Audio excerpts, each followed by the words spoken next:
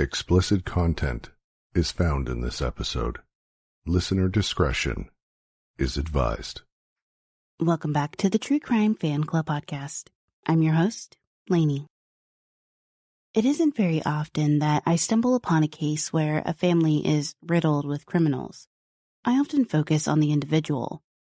In this episode, you'll hear about the Weaver family and their tangled web of crimes. Okay, on to the show.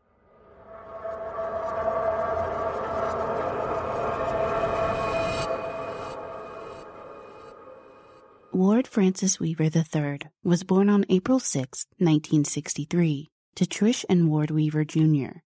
His mother Trish would recount that her son was a happy child. He watched Western movies and was enamored with John Wayne. He would play the cowboy hero and run around the house yelling, Charge! However, his early years weren't always looked upon fondly by his family members. Trish met Robert Boudreau at a hotel bar in 1967 after divorcing Ward Weaver Jr. If Trish was expecting to be happier with Robert, she was in for a rude awakening. Robert was an alcoholic who often spent his time in local bars running up tabs. When one was calling for payment, he'd switch to a new bar and start there. Trish tried to shelter her children from Robert's violent outbursts, but it wasn't always effective. There were nights when Trish would load the kids into the car late at night, going from bar to bar searching for her husband. When he did make it home, he often beat the children. They were relieved on the nights their mother couldn't find him. That meant one less beating. When Ward was four years old, he fell out of a second story window. His mother and stepfather ran out to check on the crying and frightened child. In order to calm him down, Robert offered Ward a dollar. He calmed and focused on his new prize. His mother then saw him circle back to the window, looking out over the ledge to the ground below. She said it looked as if he was contemplating jumping just to get another dollar. In 1970, the family moves to North Bend, Oregon, following Robert's work as a longshoreman.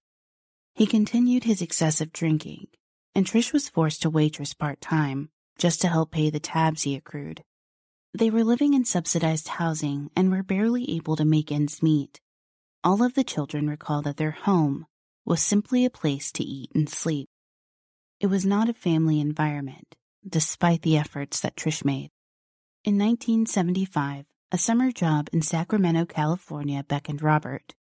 He suggested to Trish that 12 year old Ward accompany him on the trip. Trish agreed to let Ward join his stepfather. She hoped that Ward would be inspired to work hard after watching his stepfather at work. But instead, Robert brought Ward and left him in the motel room all day. He went to work, then to the bar, and sometimes returned to the room. It isn't clear what happened between the two, but a coworker called Trish and informed him that for the past few weeks, Ward had been left alone. Trish was enraged and demanded that they return home. Robert complied, and when the truck pulled into the driveway, Ward exited the vehicle abruptly with an angry sneer on his face as he rushed past his mother.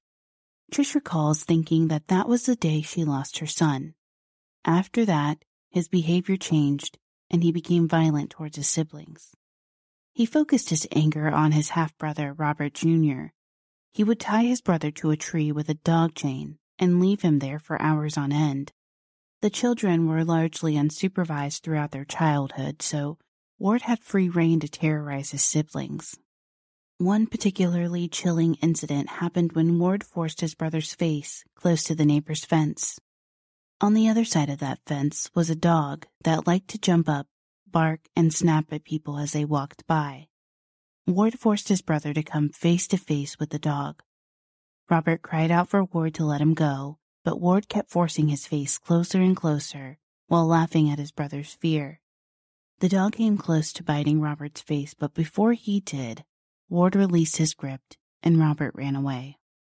Ward would often shoot his siblings in the back with a BB gun. His violence continued to escalate as he aged into high school. By then, he had sprouted quickly but was still overweight. He was into ACDC and smoking marijuana. He was bold enough to wear a roach clip in his hat when he walked the halls of his high school. he was unremarkable as a peer, but managed to graduate high school six months early. He got a job at a local burger joint and was trying to figure out his next step in life. In 1981, Ward was accused by a teenage relative of rape and abuse. His sister Tammy recalls that this was not the first accusation against Ward. When he was 12, he was accused of a similar crime. The police investigated the latest accusation, but they opted not to pursue it any further. Ward had enlisted in the Navy Reserve and would be leaving Portland in a few months. They figured it would be useless to pursue the charge with him away. His relative never got the justice she deserved. In the Navy Reserve, he was stationed in the Philippines. He fell into the same habits of his stepfather and father. He stayed out late partying and drinking, then recovering the rest of the day by sleeping off his drunkenness. In one of the bars, he met a native Filipino woman, Maria Stout. He partied with the young woman almost weekly. Streaks of his possessiveness and jealousy were not entirely off putting to the young woman. He was reported to his superiors for missing five days of work. The Navy opted to give him an other than dishonorable discharge. On May 17, 1982, he took Maria with him back to the United States, where the young couple resided in the unfinished basement of his mother's home. The passion Maria thought she had in her relationship quickly soured. The young couple bickered and argued almost on a daily basis. Ward established rules on how he expected his new fiancée to behave and forbade her to leave the house without an escort. Maria became pregnant in February of 1982. By July, she was in the hospital after suffering through a beating doled out by Ward. Trish was by her side, urging her to file charges, but she refused. Ward was arrested that evening, but no charges were filed. Ward, wanting to put distance between his mother and his new wife, decided to move to Southern California. He moved to Bakersfield in 1984 to be closer to his father, who by this time was in prison, and tried to reconnect with him. The pair caught up on lost time, but nothing changed Ward's behavior towards Maria or their children. Maria and Ward would end up having three children together Francis, Alex, and Mallory. And like Trish did before her, Maria tried her best to give her kids a normal childhood. But her own drug addiction, coupled with a father like Ward, meant the kids' childhood would not look that much different from Ward's.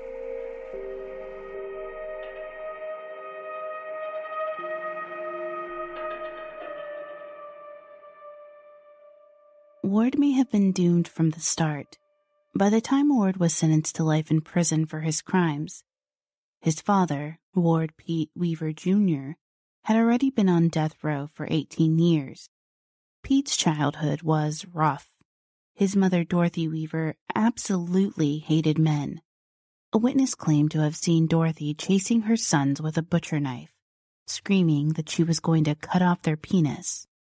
Despite her clear hatred for him, Pete loved his mother deeply and would do anything for her. Trish left her husband as their tumultuous relationship was becoming more and more violent. Ward would not see his father again until Pete was on trial for murder. In 1978, Pete spent a year and a half in prison for rape. His absence was explained to his son Rodney, about eight years old at the time, as a business trip. In 1984, Pete Weaver was found guilty of murdering 18 year old Air Force recruit Robert Radford. Pete beat Robert to death with a piece of pipe. After killing Robert, Pete then kidnapped Robert's 23 year old girlfriend, Barbara Levoy. He raped her repeatedly, and at one point, while she was struggling, Barbara bit Pete's thumb hard enough to draw blood. Pete's temper exploded and he strangled Barbara to death with a diaper. After killing her, Pete buried her body in his backyard and then poured concrete over her grave. He enlisted 10 year old Rodney to help him dig the hole. While his son was at school, Pete dumped Barbara's body in the hole, filled it, covered it with concrete, then built a deck on top. Rodney recalled watching police dig up the grave after his father confessed to Barbara's murder. He watched as police broke up the concrete slab and removed it, piece by piece. as they removed the last pieces of concrete, Barbara's body was revealed. The sight would stay with Rodney for his entire life. Pete's crime may have never been discovered had he never talked about it. While serving a 42 year sentence for raping a 15 year old girl and setting up her 18 year old boyfriend's murder in 1981, Pete bragged about the murder to a fellow inmate. The inmate went to the authorities with the information in hopes of receiving time off of his sentence. When confronted by authorities about the murder, Pete asked to talk to his mother. After talking to her on the phone, she told Pete to unburden himself. Pete hung up with her and then confessed to the crimes. At a sanity hearing for Pete, Trish testified to Pete's violent temper and cruelty. She spoke of a time when she playfully bit Pete while they were wrestling. Pete immediately began to strangle her. That was when she learned that Pete's mother used to bite Pete until he bled as punishment. It was also during this hearing that Pete's younger sister testified that Pete raped her when she was 12 and then told her she was pregnant. It only took 42 minutes for the jury to find Pete sane. The day after that, he was sentenced to death for the murder of Robert Radford and Barbara Levoy. An Oregon Live article that looks closely at the lives of Pete and Ward found many similarities between the two. Both grew up in violent families and were known to be cruel to animals and their siblings. Both had been accused of beating and raping a family member. Both were obsessive about the women in their lives and forced strict rules that warranted vicious beatings when broken. And both had violent tempers, but claimed to experience dissociation during their violent crimes.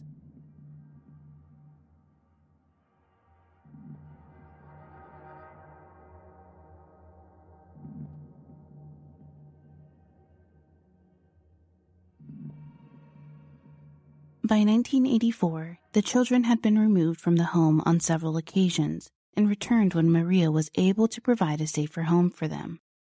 This, of course, would be short lived as soon as Ward returned home. He had trouble holding down a job, so he would live with friends or in his car. He and Maria couldn't stand to be together for more than weeks at a time, so he was often away from home. The family moved again to Fairfield, California, where they resided with the Ordonez family. They were a Filipino family that sold Filipino products out of their home. The family often witnessed the tumultuous life led by the Weavers, but did nothing to intervene. They witnessed Maria beating Francis, Ward leaving to get drunk and coming back in a stupor. The dysfunctional cycle seemed to continue every week. Maria was pregnant with her third child, when Ward would be accused of another heinous attack. It was Father's Day in 1986 when Ward decided that his day had been ruined. Maria made no effort to give Ward gifts from the children, likely out of spite. Ward took this to heart and went to the bowling alley. He smoked some marijuana, took a speedball, and drank several beers and vodka screwdrivers. He called the Ordonez house and asked for a ride back home, the parents sent their daughters, 16 year old Jennifer and 13 year old Jocelyn, to retrieve Ward from the bowling alley. When Ward got into the van, the three headed back to the house. Ward asked Jennifer to pull over so he could relieve himself. He got out, picked up a concrete chunk, opened the passenger side door, and struck 13 year old Jocelyn in the head. She screamed out and tried to shield her head from further blows. She fell to the floor of the van trying to scoot away from Ward's grip. Jennifer unbuckled herself and pushed Ward away from her sister. He put her in a headlock and pulled her down to the ground with him. She gasped for air as he tightened the hold on her. She yelped, Ward, it's me. Jennifer, what are you doing? She recalled seeing Ward's eyes look blank, like he wasn't even there. She ended up freeing herself from his strong hold and kicked him out of the van and sped away. When she arrived to her home, she immediately informed her mom of what happened. 23 year old Ward was arrested for the attack on Jennifer and Jocelyn. He was sentenced to three years in prison for his crime.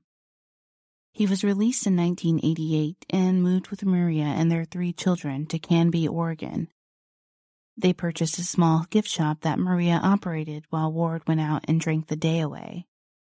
They lost the store within two years, which put Maria on the verge of ending their relationship once and for all. Ward was amping up his drug use and even began dabbling and selling drugs.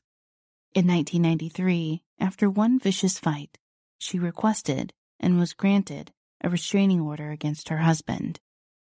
Ward and Maria formally divorced later that year, and he began dating 18 year old Christy Sloan.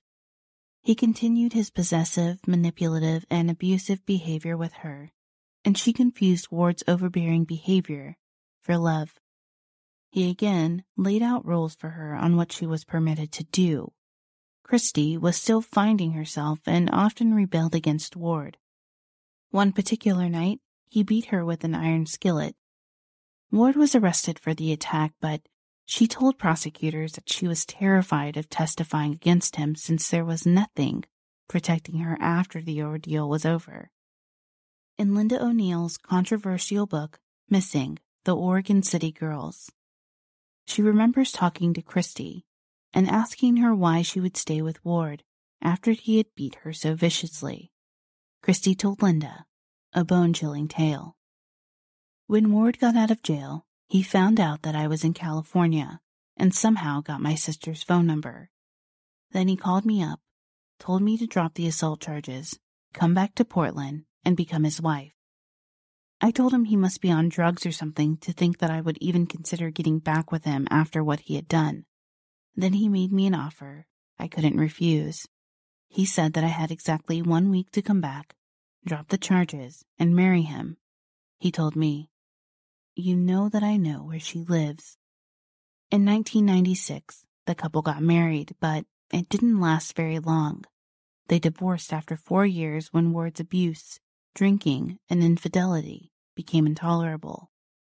He moved out to a rental home with his girlfriend off Beaver Creek Road in Oregon City, Oregon, along with his children, Francis and Mallory. Mallory Weaver was a typical middle schooler who invited her friends over to hang out.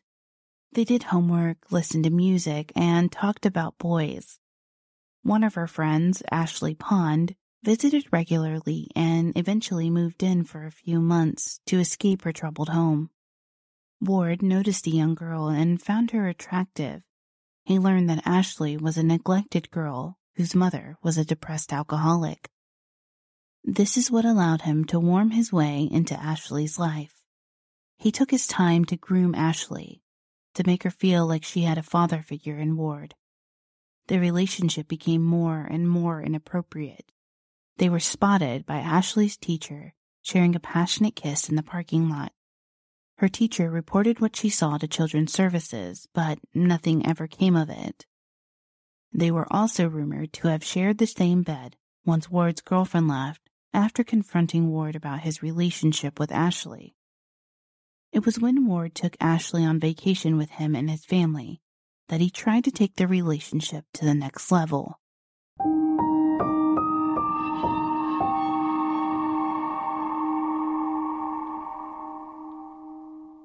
I'm going to pause the case right here so you can hear a word from our sponsor.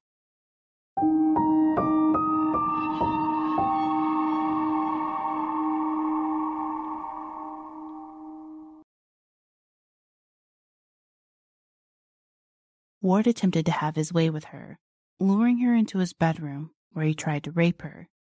She managed to get away and returned to her home. Ashley was very familiar with sexual assault because of her biological father, Wesley Roettger. Ashley attempted to form a relationship with Wesley after learning that the man that had raised her was not her real father. It was then that she was attacked by Wesley. Wesley began sexually assaulting Ashley, and her behavior quickly changed. She was becoming more withdrawn and sullen. When her mother asked her what was going on, Ashley confessed that Wesley raped her each time she visited his home. Her mother, Lori, was shaken by the news and immediately reported the abuse to authorities. Eventually, he was charged with 40 counts of rape and abuse on Ashley. He pled no contest to just one count of attempted unlawful penetration and was eventually sentenced to 120 months of probation. The reason why Wesley was able to plead down to just one charge was because of a phone call from a man who claimed that Ashley was prone to making up rape allegations. That man was Ward Weaver. It was early August when Ashley and Lori go to the authorities about Ward's attempted rape. However, nothing happens. Her paperwork was poorly handled by the authorities, which meant that Ward was never formally charged or held accountable for the attempted rape. She stopped speaking to Mallory and felt shunned by mutual friends who thought that she made up the allegation for attention. She struggled over the course of the next year to regain her confidence. She began to make great strides in her education, and her grades began to improve. By December of 2001, she began speaking to Mallory again. On January 9th, 2002, Ashley said goodbye to her mother, who was passed out on the couch, and ran off to catch her school bus. She never made it to school. At some point, she was lured by Ward Weaver to his home where she took five shots of whiskey, either voluntarily or involuntarily. He viciously attacked her and eventually buried her in a barrel in his backyard. When she was reported missing, she was initially thought to be a runaway. After all, the girl had a tumultuous home life, and her mother's new boyfriend was not her cup of tea. Had Ashley finally had enough of this life and ran off to live somewhere else? After a week of Ashley making no contact, authorities now believe she had been abducted. They zeroed in on her biological father, but his alibi checked out. They discovered that over 90 registered sex offenders lived in Ashley's apartment complex. Linda O'Neill, a private investigator whose husband had been married to Ashley's grandmother, watched the local news to keep abreast of any updates. She recalled seeing Ashley's friend and classmate, 13 year old Miranda Gaddis give an interview to a reporter, saying it was really hard to know that this happened to a friend. But what happened to Ashley? Authorities were still tailing likely suspects, but they were getting nowhere. It seemed as if Ashley had disappeared into thin air. No one had a clue where she was. Each lead was a dead end. Then, in March of 2002, the unthinkable happened. Miranda Gaddis disappeared. The girls lived in the same complex, and the police and FBI realized that this was not a coincidence. The community was in a panic and concerned that their young daughters were no longer safe. Miranda was born on November 18, 1988, and attended the same middle school as her friend, Ashley Pond. She aspired to become a model and wanted to continue her career in dance. She and Ashley were on the same dance team, but that wasn't the only experience they had in common. Miranda had been systematically abused the majority of her life by her father and then her mother's boyfriend.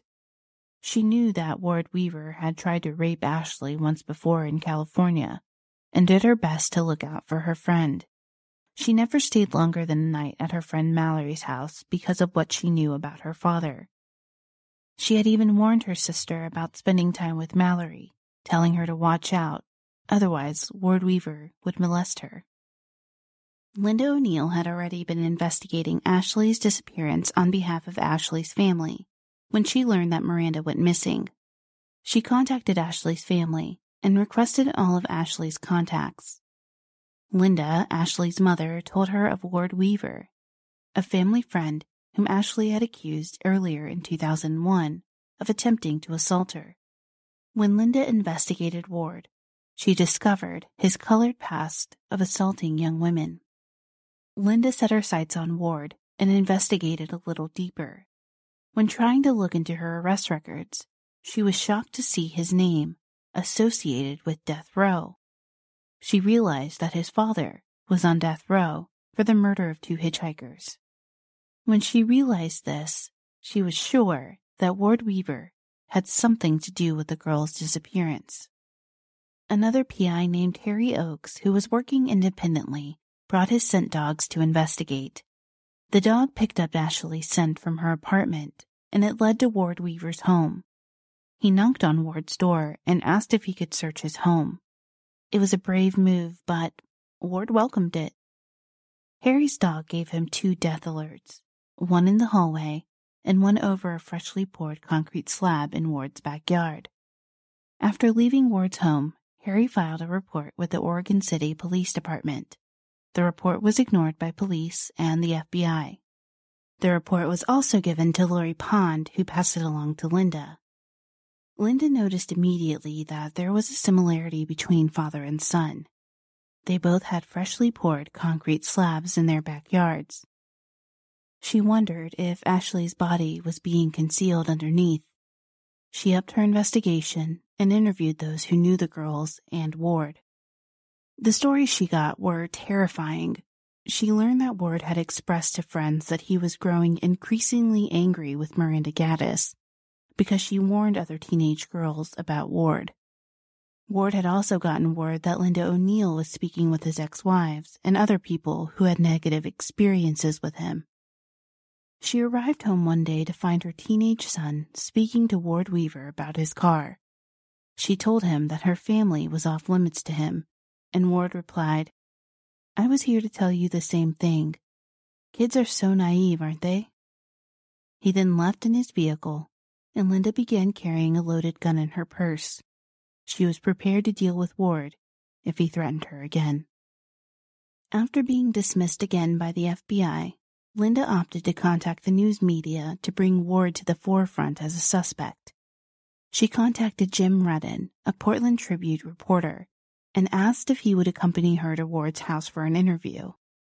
Ward welcomed them into his home and was very candid. He came off as just a regular guy. When the article was published, the community began to question why Ward wasn't a suspect in the girl's disappearance. He went on a media tour of sorts and granted all kinds of interviews.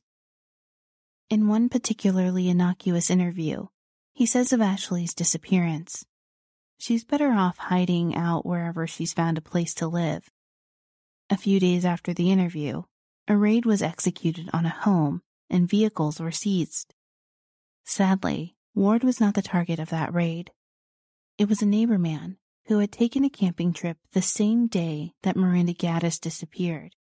He also failed a polygraph test and had been interviewed six times by the Oregon City Police and the FBI. He was eventually ruled out as a suspect. The authorities were back at square one, with no more leads or suspect. Ward was still in the mind of the media, but he had enough of their questions. He was no longer interested in the attention and scrutiny that was being placed on him or his past. He began telling friends that he was moving away to Mexico or Idaho and started selling off his personal items. He wouldn't get far because he couldn't control his impulses. On August 13, 2002, Ward picked up Randy Oneida, the 19 year old girlfriend of his son, Francis, and mother of his grandchild. She thought nothing was odd about Ward's behavior that day, but she quickly realized that he had changed when they walked inside the home. He threw her to the ground, ripped off her clothing, and viciously raped her. She pushed him off with her feet and ran out of the house naked. She grabbed the tarp that was covering the concrete slab and ran towards the street. She flagged down a passing motorist and the police quickly responded. Ward was arrested and charged with rape. Francis Weaver was the one who would be his father's undoing. After learning about the rape of his girlfriend, Francis was the one to call 911. During that call, he would reveal that his father admitted to killing Ashley and Miranda. This would lead to Ward's arrest and ultimately the search warrant that would lead to the recovery of Ashley and Miranda's bodies. Miranda's remains were found in a box in a shed, and Ashley's body was found in a barrel that had been buried under a concrete slab. During his father's trial, when asked by ABC's Good Morning America if he thought his father was guilty, Francis would reply, I'm certain, yes. The whole thing just disgusts me. I hate to even think that I was brought into this world from a man like that. It would ultimately be revealed through DNA testing that Ward was not Francis's biological father. But that didn't stop Francis from following in his father's and grandfather's footsteps. There were signs of Francis's future during his early teens In 1998, Francis was suspended from school for choking another student. In 1999, Francis shot a rifle into a truckload of teens and injured his best friend. He was sentenced to 180 days in a juvenile detention center but was released after a month. In 2005, Francis was arrested again. This time, he was charged with breaking into a home, holding the residents hostage, and then robbing them. However, he was acquitted of the charges at trial, and for nine years things were quiet for Francis Weaver. Until February 19, 2014, when Francis was arrested, along with three other men, for the murder of Edward Spangler. Spangler had been found shot to death in his car. Prosecutors said that Francis conspired with Michael Oren, Shannon Betancourt, to rob Spangler, a local drug dealer. Fifteen pounds of marijuana was found in Spangler's car by police. According to court documents, police found text messages between Francis and Michael where they were tracking Spangler's whereabouts. The two confronted Spangler and Oren shot and killed him. Spangler jumped in his car in an effort to flee, but succumbed to his injuries and crashed his car. Police responded to calls about the car crash and found Spangler dead inside. It was when they noticed the gunshot wounds that they realized that this was not an ordinary car accident. Although he was not the shooter, Francis was charged with murder because he supplied Michael with the gun that took Spangler's life. In March 2016, Francis was sentenced to life in prison. Unlike his father, Francis showed deep remorse for his crimes. He cried as he addressed the family of Spangler, saying, quote, I know he was a good man, a very good man and a good son. That was never supposed to happen. I pray for you guys every day. I pray for his children every day. Maria Shaw, Francis's mother and Ward's first wife, was very vocal about her belief of her son's innocence. Maria was interviewed right after Francis's arrest and claimed that she knew for a fact that Francis was home during the time of the murder. She also claimed that Francis was taking the blame for the murder simply because of who his father was. Her feelings didn't change after her son was found guilty. When the verdict was read, she shouted in the courtroom, There is no justice. Justice is not served. It's not right. They framed my son and everything. They framed him. Maria found herself in trouble with the law around the same time of her son's arrest. In April 2014, Canby, Oregon police conducted a search warrant on the home of Maria Shaw. The search warrant was based on allegation of Shaw selling meth out of her home, along with her son Francis. When the warrant was served, Police said they found drug paraphernalia and drug records in the home. Maria was not home at the time of the search, and a warrant for her arrest was issued. There is no record of her being convicted of any crime following the search. In 2010, Mallory Weaver, Ward's daughter and friend of Ashley and Miranda, was charged with attempted assault, disorderly conduct, criminal trespassing, and harassment that arose from an alleged attack on a hospital security guard. On July 21, 2010, Portland police were called to the Providence Medical Center in response to a report of a patient's family attacking hospital security. Upon arrival, hospital staff told police that Maria Shaw, Mallory's mother, had been admitted the day before for mental health issues. When Mallory and her stepfather came to visit, they attempted to remove Maria from the hospital by force. When security guards tried to escort the two to the ambulance bay, a struggle broke out. A nurse and two security guards suffered minor injuries. One of the guards alleged that Mallory punched him in the face. In December 2010, Mallory was acquitted of all charges. Ward pled guilty to the murders of Ashley Pond and Miranda Gaddis on September 22, 2004 he was given two life sentences to be served at the Snake River Correctional Institution in the Administrative Segregation Unit. Even behind bars, Ward accrued his enemies. In April of 2007, Ward was stabbed in the neck while getting his hair cut by Marvin Lee Taylor. He survived the attack, and the motivation behind the attack is unclear, but Marvin was ultimately found guilty of assault. The Weavers were a doomed family from the beginning. The cycle of abuse, violence, drug use, and alcoholism seemed to contribute to its demise. The ending, for the Weavers, was always going to be an unhappy one. Okay, fan club members, as I conclude this episode, my one question to you is How will you sleep tonight? Special thanks to Marissa Jones, host of the Vanished podcast, for recommending this topic. We would like to thank Pitney Bowes for sponsoring this episode. Visit pb.com slash TCFC to learn more and try sending solutions for free. If you enjoyed this episode, please be sure to subscribe, rate, and leave us a positive review on Apple Podcast or your podcast player of choice. It really helps us out.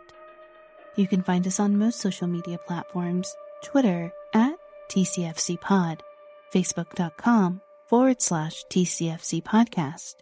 You can also find us on Instagram, TCFC underscore podcast.